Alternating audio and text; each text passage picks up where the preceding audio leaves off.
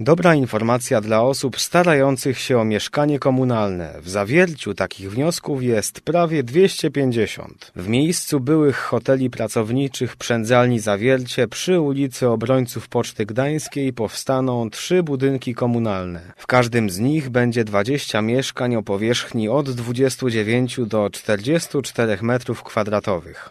Bardzo dużo jest podań mieszkańców naszego miasta o budynki komunalne, bo e, w odniesieniu do innych e, mieszkań to budynki komunalne są e, jedną z najtańszych form e, proponowania mieszkańcom e, mies- miejsca zamieszkania i dlatego no, realizujemy te budynki.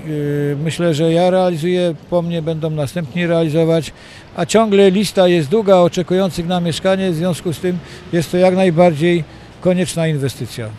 Bloki będą czteropiętrowe i podobne do mieszkań wybudowanych w Kromołowie. Wokół osiedla powstaną chodniki, jezdnie, ławki, kosze na śmieci oraz plac zabaw i plac rekreacyjny dla osób starszych.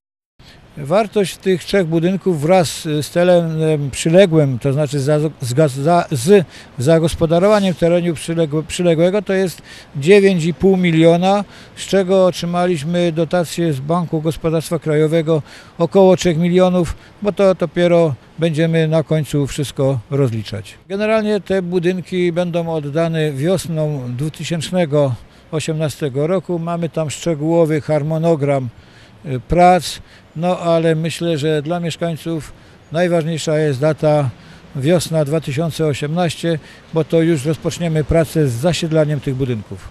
Obecnie wykonawca, czyli firma STB z Częstochowy prowadzi prace ziemne, które polegają na rozbiórce fundamentów po byłych hotelach pracowniczych.